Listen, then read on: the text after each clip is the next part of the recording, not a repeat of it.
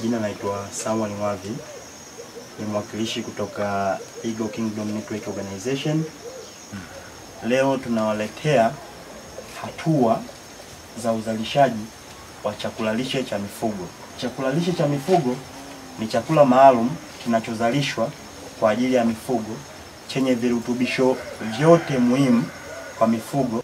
Baada ya ya huo utangulizi mfupi kuhusiana na chakula lishe, basi ngoja tuangalie faida za chakula lishe. Ah, faida ya kwanza ya chakula lishe kupunguza gharama kwa mfugaji ya manunuzi ya chakula kuanzia asilimia thelathini hadi asilimia sabini. Inategemea na aina ya mfugo unaomfuga.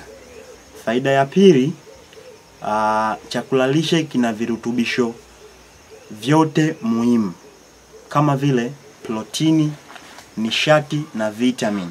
Humsaidia mfugo kukua kwa haraka.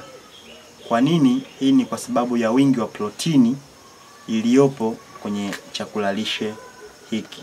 Faida ya tatu ni kwamba chakula lishe punguza magonjwa ya mfumo wa hewa, kwa sababu chakula lishe hakina chembechembe chembe za vumbi, wakati chakula cha kawaida kina vumbi. Kwa hiyo ukitumia chakula lishe, mfugo hautokuwa na shida kutokana na vumbi. Faida ya nne ni kwamba kwa mfugaji anayelisha mifugo yake kutumia chakula lishe, ana uhakika wa kuongeza mazao kama mayai na maziwa kutoka kwenye mifugo yake kwa asilimia arobaini.